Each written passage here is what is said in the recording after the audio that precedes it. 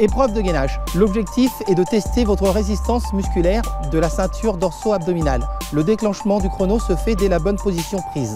Réglage sur le rebondi de la fesse. La tolérance est de 5 cm au-dessus ou en dessous du muscle fessier.